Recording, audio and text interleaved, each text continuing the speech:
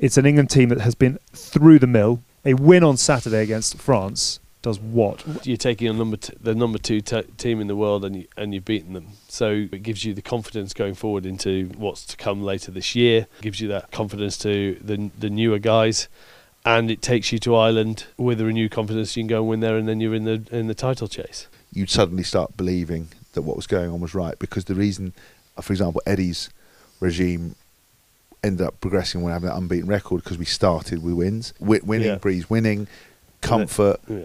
You know you're on the right path. Doesn't breed the uncertainty. You know England started with a loss. There's still a bit of uncertainty about what's going on. It's not the uncertainty in what Mr. Borthers is doing and the coaching team are Yeah, doing is right, but it's just cementing it. Beat France, that cements it. Beat Ireland, suddenly the whole thing flips on its head, and that's how let's, let's simple. not get ahead of ourselves just yet. that's what I'm saying, but that's how simple and fickle Yeah. sport is, and and also those those who write and talk about it. It is going to be an absolute belter.